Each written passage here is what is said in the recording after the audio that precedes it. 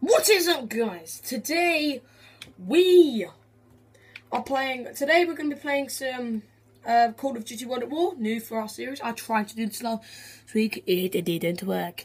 So today I'm just to be playing some solo zombies, and when I get back, and whatever I do today, I'm going to the library. So when I get back, I'm going to try and beat the score. I'm going to try and beat the score. So let's see how we do. I hate this movie, the thing of this map, the I don't know what it's called. Right, here's it. Nazi zombies. Okay, so let's see how long I can last.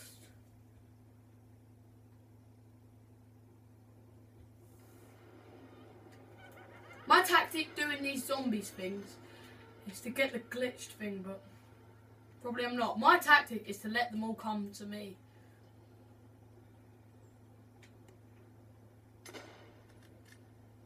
Aim for the head. Boom! You. This is like a, a like a fast reload shotgun.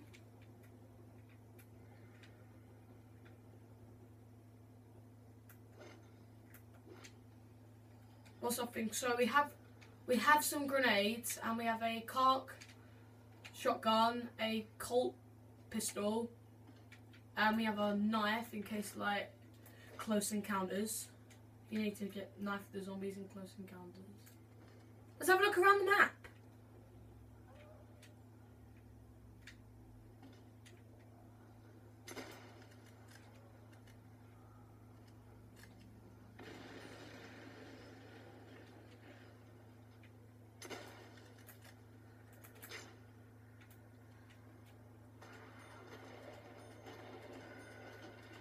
What? We only got what?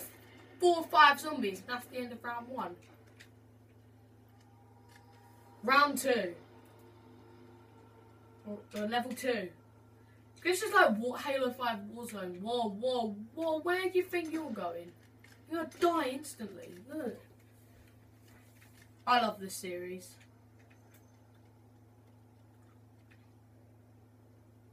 Try and get to a certain point. It's around the back areas. Look, you see, like around the back of this area. It's the one that looked like they have fish humans like uniform on, like a captain's uniform on. They're the ones that are hard to. They're always hard to beat. Whoa, whoa.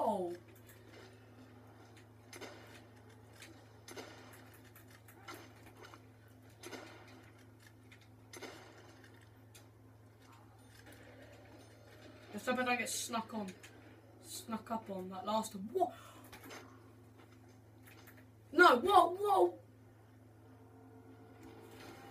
So I survived two rounds. So yes, that's all video for you today. I'm going to try and beat it when I get back from the library. I'll see you soon. Bye.